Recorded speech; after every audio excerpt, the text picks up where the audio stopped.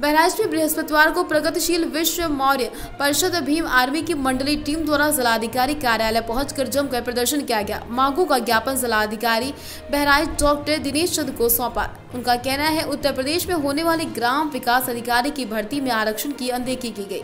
उन्होंने कहा ओबीसी पूरे भारत में लगभग बावन फ़ीसद है और हर जगह ओबीसी को ही दबाने का कार्य किया जा रहा, चाहे शिक्षा के क्षेत्र में हो या अन्य रोज़गार के मामले।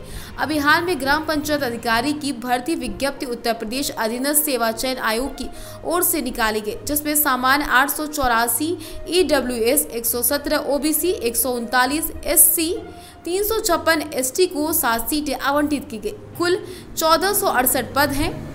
अगर संवैधानिक हिसाब से कुल पद सोलह से 27 फ़ीसद ने तीन सीटें, ओबीसी को मिलना चाहिए, लेकिन केवल एक सौ उनतालीस सीटें आवंटित हुई। उनका कहना है, इस प्रकार ओबीसी के साथ धोखा करके आरक्षण घोटाला खत्म किया जा रहा। उन्होंने मांग की है आरक्षण खत्म करके चौदह के सत्ताईस फ़ीसद सीट आवंटन करने की कृपा करें।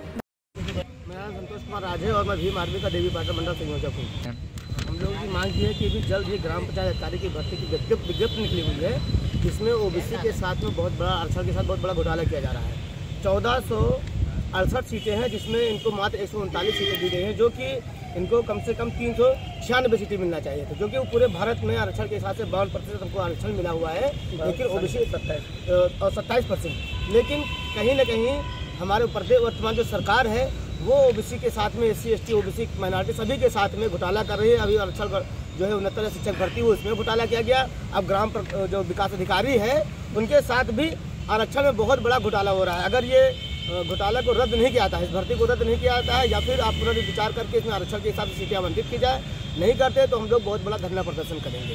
पूरे प्रदेश स्तर पर जी। ज्ञापन सभी जगह अभी सभी जगह चल रहा है। हम लोग तो आज नॉर्मली आए हैं ज्ञापन देंगे। अगर हम लोगों की मांगे पूरे नहीं होते तो पूरे भारत में हम लोग पूरे उत्तर प्रदेश में रोड जाम करने का काम करेंगे।